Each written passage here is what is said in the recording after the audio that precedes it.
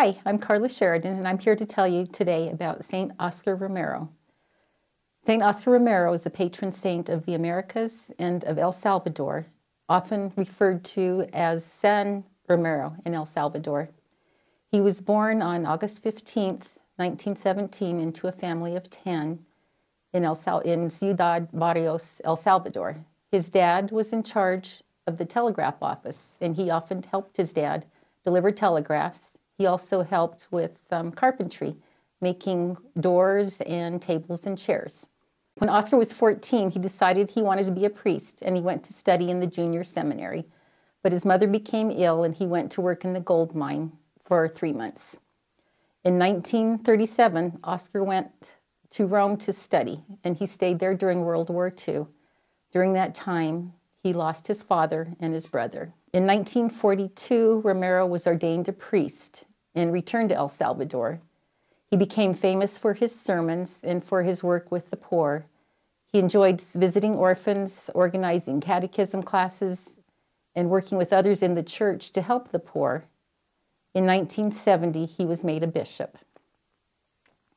Violence in El Salvador was increasing by the mid 70s. The government and the army were killing the poor, people who stood up for their rights. Romero spoke out against this violence, and he also comforted the families that lost loved ones during these murders and kidnappings. In February 1977, Romero became the Archbishop of San Salvador, which is the capital of El Salvador. Some rich people were happy because they thought he would stop the priests that were helping the poor stand up for their rights. Three weeks later, Romero's good friend, Father Rutilio Grande, was shot and killed along with two companions because of the work he did with the poor.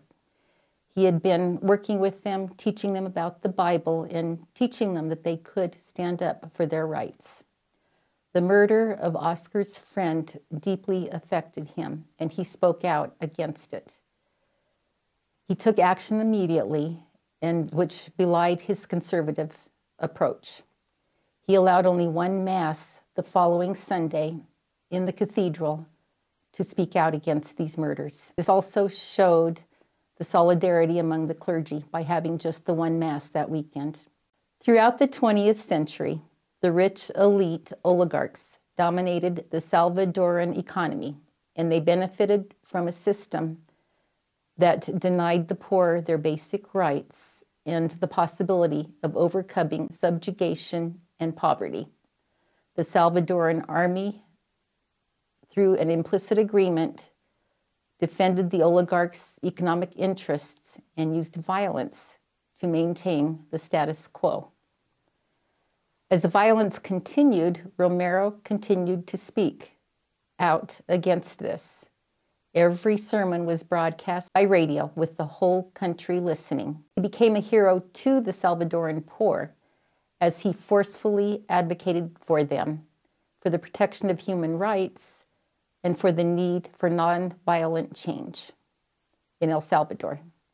He repeatedly criticized the military for torturing and killing these people and the oligarchs for underwriting the violence. On the night before he died, he was celebrating Mass. Archbishop Romero appealed to the army, the National Guard, the police, and the garrisons to stop the killing of their own people and reminded them that the law of God said, Do not kill. He reminded them that they were not obligated to follow the orders of their superiors if it was against the law of God.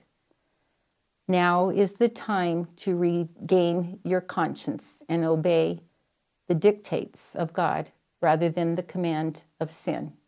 In the name of God, cease the repression. Soon after his homily, as Romero turned to the communion hosts and wine, a deafening explosion crackled through the chapel, and Bishop, Archbishop Romero fell to the floor. Despite the extreme efforts of those in attendance, Romero died on the way to the hospital in the back of a pickup. According to the nun that was in the pickup with him. His last words were, May God have mercy on the assassins. His funeral was celebrated in the plaza outside the cathedral and drew an estimated 250,000 mourners from around the world. On February 13, 2015, Pope Francis authorized a decree recognizing Oscar Romero as a martyr for the faith. His beatification took place in San Salvador on May 23, 2015, and he was canonized on October 14, 2018. Remember, this could be you.